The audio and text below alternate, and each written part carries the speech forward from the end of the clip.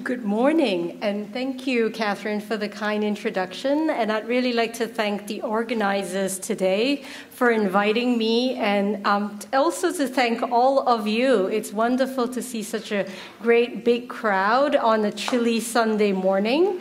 So I hope everyone has had some um, opportunity to fuel up on the coffee and pastries at the back of the room. So Taking the lead from my colleagues, um, Shandine and Emily, I too wish to introduce you to an exceptional collector and collection at the RISD Museum. So, my talk today turns us to a figure that I am sure many of you might be familiar with. Was I right? Yes. All right. So, born in Providence in 1874, Abigail Green Aldrich was the fourth child of Senator Nelson Aldrich. As the daughter of a privileged and respected family in Rhode Island, Abby was introduced and exposed to art at an early age. Her father was one of the founders, actually, of the Providence Art Club. I heard that you had lunch there yesterday. Um, so, this was a venue, as you all know, that frequently hosted art exhibitions and also speakers. So, it's not surprising that art appreciation was integral, or was an integral part of Abby's youth. She embarked on her first extensive European tour in the year she turned 20, where she visited numerous art galleries, enriching her knowledge and discernment of art. Abby married John D. Rockefeller Jr. in 1901. And after that, she settled into life in New York. And in the years that followed, she became a mother of six and a key figure in society. She took many trips with her husband, both domestically and internationally, participating in philanthropic work and events. Today, Abby Rockefeller is still known for her philanthropy as well as her patronage and, many contrib- and, and her many contributions to the art world. She is perhaps most well known for her contribution to MoMA, which she co founded, and whose collection she helped to build and develop. Her collection of American folk art, located today in Virginia, is also known to many. Her collection of Japanese woodblock prints, however, is lesser known. This is the collection that she gave to the RISD Museum and the focus of my talk today. Abby started collecting Japanese print in 1916. Here are some of the first prints she bought, a group that were previously from the collection of Mrs. John Osgood Blanchard. They were auctioned at the American art galleries at the time, and the American art galleries are the predecessors of Sotheby's today. Prints were fairly inexpensive at the time, and with the modest inheritance Abby received after her father's death, she was able to purchase these works. Japanese prints were very popular, widely available at the time. Excuse me. And I'm sure many here know the term Japonism. I see many nods. Um, and are familiar with the craze for Japanese things during the 19th and 20th centuries. European artists like Monet, Van Gogh had large print collections and were inspired by compositions in Japanese prints. American artists like John La Farge drew heavily on Japanese aesthetics as well. In fact, believe it or not, La Farge collected Japanese prints and paintings as well, some of which also ended up in our collection. But that's a story for another day. Here, what I wanted to show you is how La Farge referenced these woodblock prints, right? You can, the, the print on the left so the print that you see here is one um, that Abby Rockefeller gave us in our collection, but La Farge also had prints like that in his collection, and you can see how his painting draws from these compositions.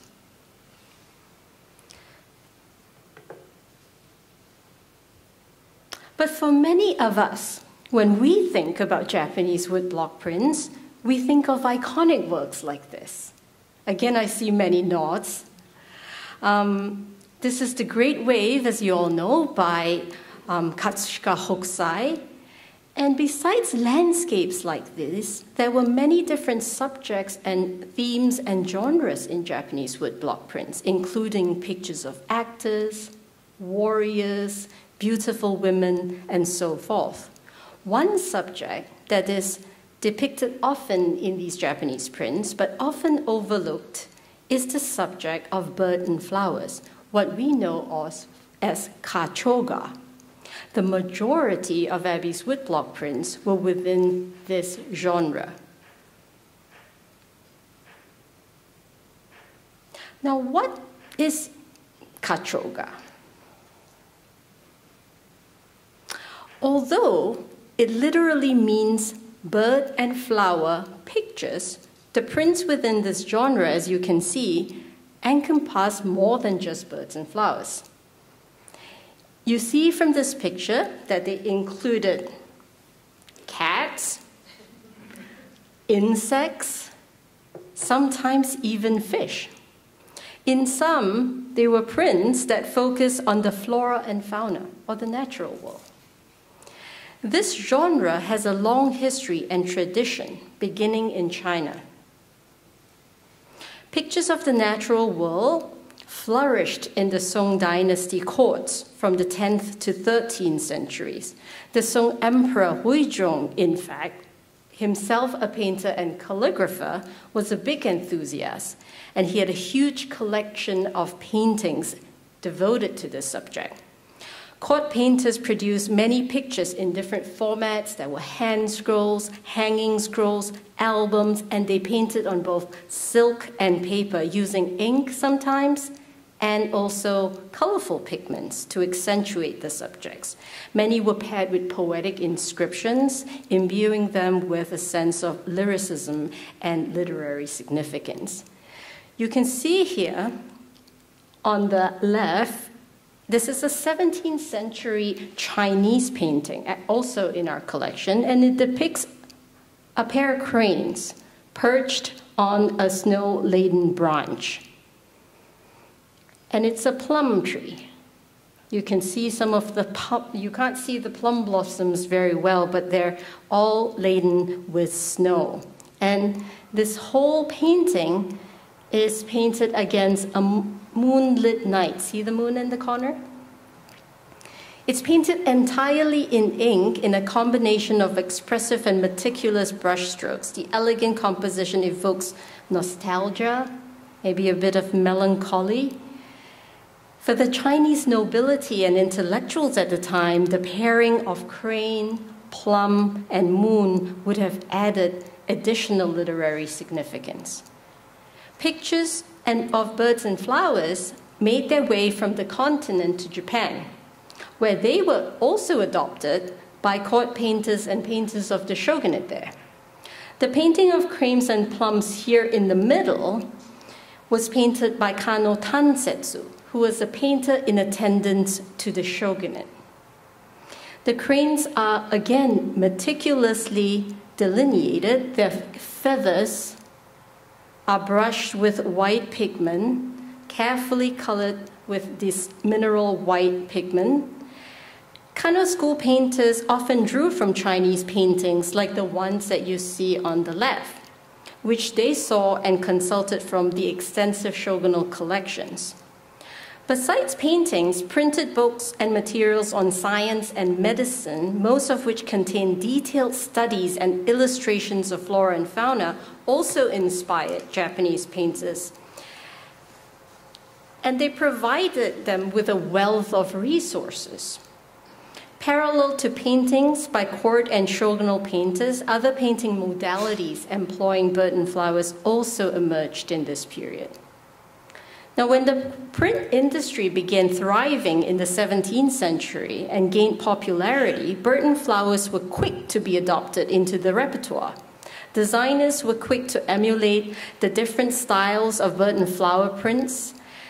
paintings into print, and they developed unique approaches to the genre as well. The print here at the end, this is actually a print, not a painting, is by Hokusai, the same artist whom we just saw with the Great Wave.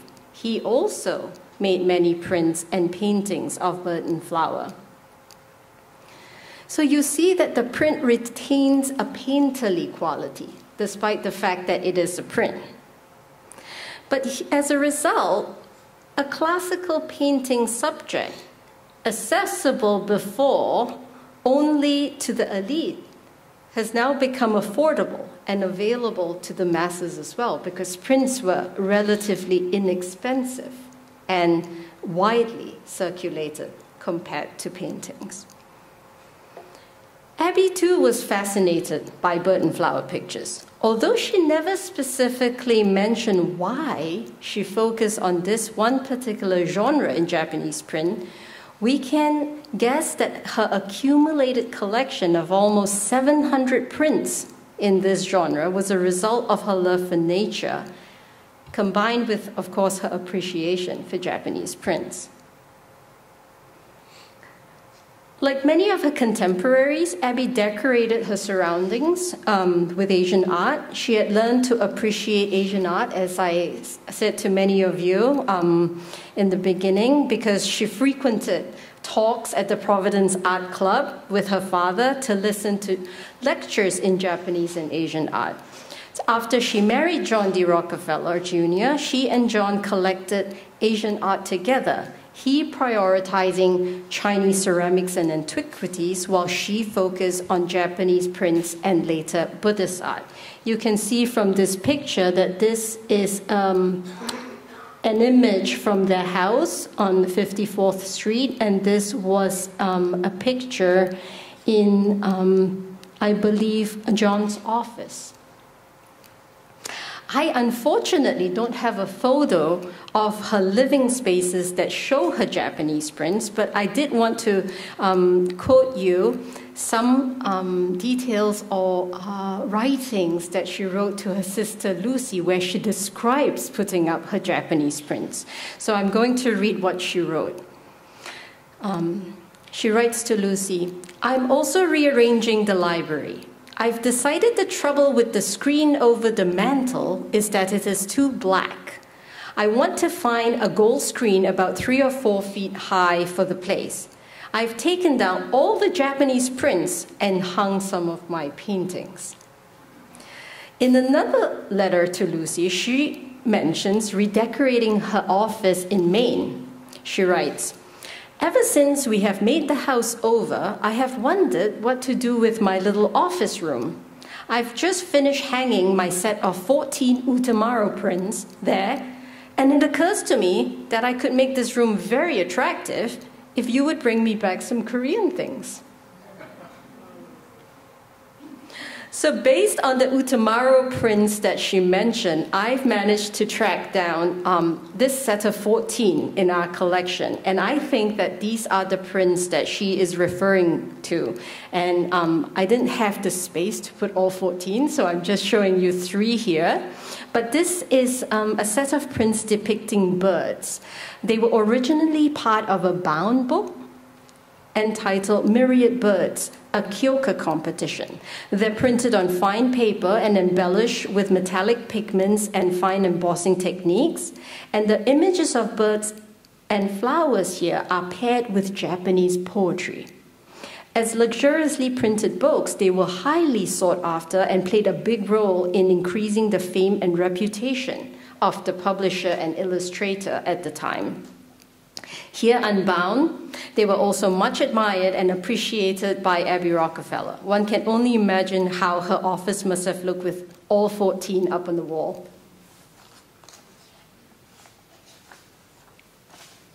In the same letter to Lucy, where she writes about redecorating her office, she also wrote that she had invited over a hundred people to tea to hear an illustrated lecture on Japanese prints. From these correspondences, we can see that she collected and used prints not just for decorating, but she considered them as objects of study as well.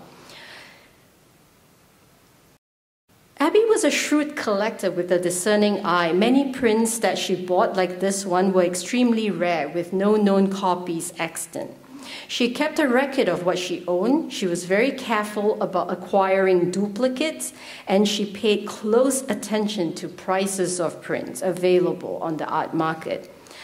Unlike her sister Lucy, who went often to Asia, Abby, only went to Asia once in 1921. She mainly bought from auction houses and art dealers in New York, especially those which, she had long standing and established relationships with. She did entreat her sister to buy her prints from Japan, and she always cautioned Abby against buying duplicates. When she went to Japan in 1921, she bought many prints herself. Um, I think she bought almost 60 that year alone from Japan.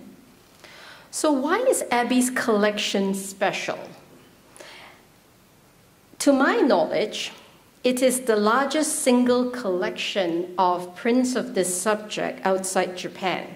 It is distinct not just because of its size, but more importantly for its breadth and its depth. When the Rockefeller collection entered RISD in the 1930s, the study of Japanese prints as a serious art historical field was still relatively non existent. It would not be until much later that this encyclopedic collection was recognized as an important source for understanding the development of Japanese printmaking.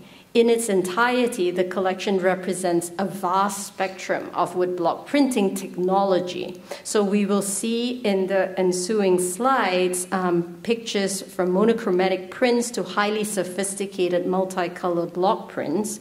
And um, so in other words, Abby can definitely, I think, be considered a pioneer, someone ahead of her time in terms of thinking about the pedagogical potential of these prints because she focused primarily on this one subject. She built a collection that allowed for close comparison um, and study across formats, mediums, and methods. And I'll give you a few examples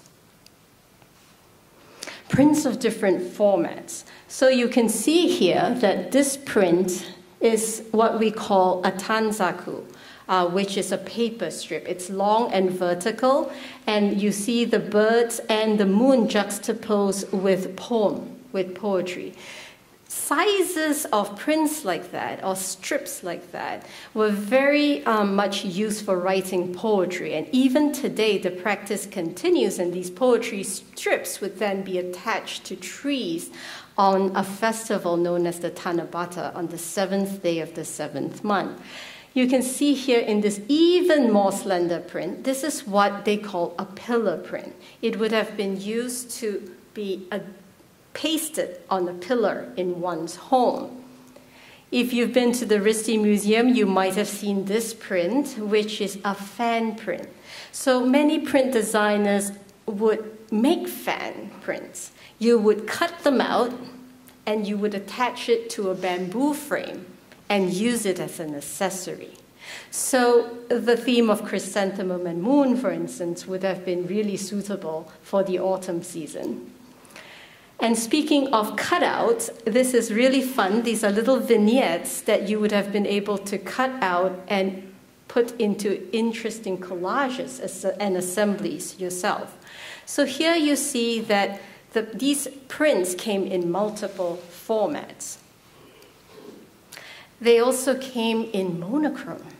So in this print on the left, which mimics ancient Chinese stone rubbings, the artist has deliberately used only ink, right? And here you see um, the artist's um, use of just blue. The craze for Prussian blue or Berlin blue um, came about in Japan in the 1830s when this synthetic pigment became widely available and affordable for print. Before that, they were using vegetal dyes that were very light, sensitive, and elusive. So you can see how excited they were when this color came in and they utilized it to make different hues and tones. You also have specialized prints like that. Um, on the left is a print that was made with lacquer. On the right, a print that is privately commissioned, circulated only among um, a small poetry group, and embellished with metallic pigments. And this is really interesting because Abby didn't only collect prints, she collected sketches, preliminary sketches, and also proofs. So here you can see how she thinks about Japanese prints as a subject for study. And she wants to understand the process because when the illustrator makes a sketch, they then send it over to the woodblock carver, who then carves away at it.